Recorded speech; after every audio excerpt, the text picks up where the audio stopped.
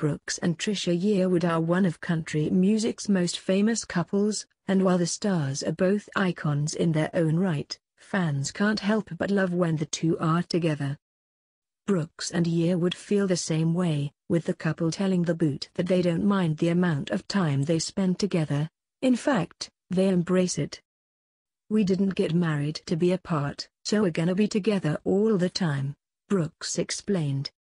The pair, who have been married for 13 years, spent the last three years touring the country together on Brooks' recent world tour, which became the highest-grossing country music tour of all time. It was very nice to have a part of the show where you introduce everybody's favorite person, Brooks said of his wife. I mean, She's got more Grammys than I do. She'll come out and just put me to shame with all that talent. Now that the tour is over, they have more time to devote to solo projects, which for Yearwood means recording new music and for Brooks means working on his upcoming show at Notre Dame Stadium.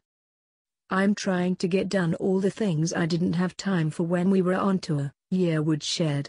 Most things we do as Garth and Trisha, but there are also things we do that's Garth stuff and Trisha stuff, that's separate. The Trisha's Southern Kitchen host also revealed that she'll be accompanying her husband to his historic performance. I will be with him in Notre Dame, but I'm not on the ticket, she said. I'm going to make sure he stays sane. I'm kidding. I'm just going because we like to be together. We don't like to be apart.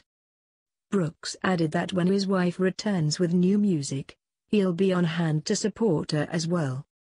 Let's say she announces her tour supporting this new music, he said. Well, I'll be with her in the cities where she's at, and I'll be where she's playing. Hopefully, nothing's really gonna change for us. Playing shows without Yearwood will also give Brooks the opportunity to try out a new format. It was a lot of fun, but I guess we're gonna fill that space with more Garth music, he said. The good thing is that it'll give us a chance to try some new stuff. The couple added to CBS News that their marriage has always been the most important thing to them. We've both put in the time to say, hey, look, we control our lives, Brooks explained. We're thankful and blessed, people and God are taking care of us. At the same time, we are in control of our own schedule, so we work diligently to make sure we have all our time together, especially nights. It's very sexy and attractive for your spouse to have her own cooking show and win Grammys, but at home, she's the love of my life.